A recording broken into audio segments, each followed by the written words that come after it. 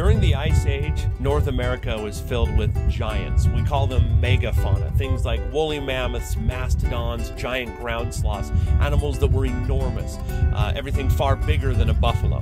And atlatls and darts were the perfect weapon to hunt these larger animals. But eventually, those animals started to go down in numbers, and most of them became extinct. Uh, a lot of this was due to hunting by humans, but a lot of it was due to some of the changes in the climate and changes in plant growth. Uh, many of our animals, like horses and zebras here in America, they had one chambered stomachs that couldn't handle the rougher desert plants that filled the place of the prairie grasses of the old days. People were left with a world filled with smaller animals. We don't think of a buffalo as a small animal, but if a buffalo is the biggest animal in your world and you're trying to hunt a buffalo down to the something the size of a squirrel or a rabbit, an atlatl and a dart, they're just too big.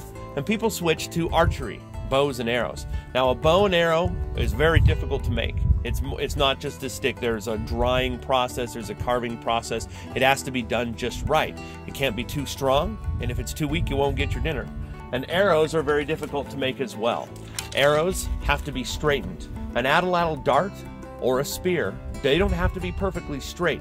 The wave that they carry when they're thrown, that makes them fly straight.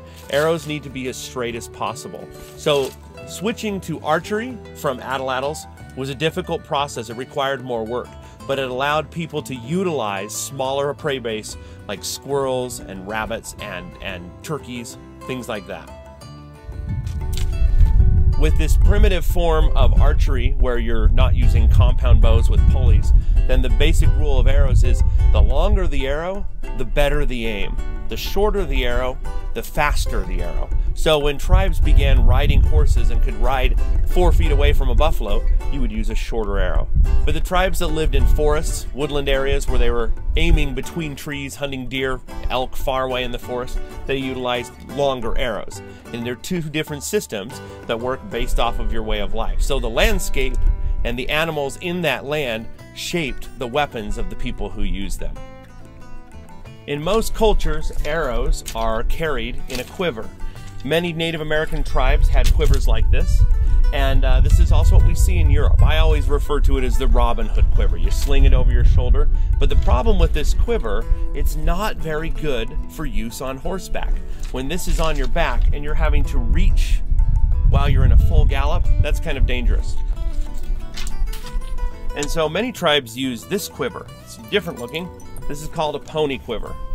So I have a bow, I have my arrows, and I have pouches for food, fire starting, and a knife to butcher whatever I hunt.